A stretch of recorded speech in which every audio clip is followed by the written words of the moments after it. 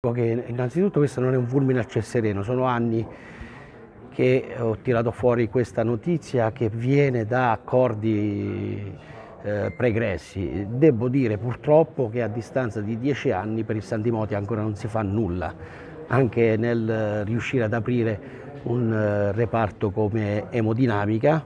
Si parla di concorsi di cardiologi ma non si parla di specialisti di emodinamica, quindi ho molti dubbi su quello che potrà fare la Regione e che sta mettendo in campo per fare la Regione, ad eccezione di sentire che utilizzeranno 14 milioni di euro per eh, adeguamento sismico della struttura. Non credo che questo sia il vero problema del Santimotio. C'è chi si preoccupa anche della mh, nuova missione professionale di Nicola Rocchia che da Termoli andrà a Cardarena. Beh, da una parte ci fa piacere perché dimostra che eh, nell'ospedale di Santimotio ci sono professionisti validi, è proprio dal Santimodio che in qualche maniera sono state lanciate in passato delle, eh, delle iniziative eh, sanitarie che in altre zone del Molise non esistevano e mi riferisco a emodinamica. L'emodinamica in Molise è nata presso il Santimodio. Ora guarda caso l'unico ospedale che è carente di emodinamica è proprio il Santimodio.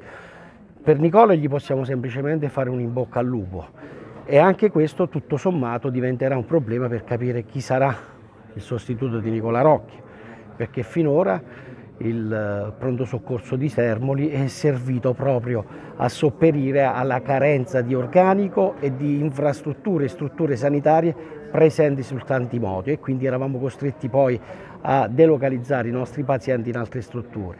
Speriamo che la politica regionale si dia una mossa riguardo a tutto questo.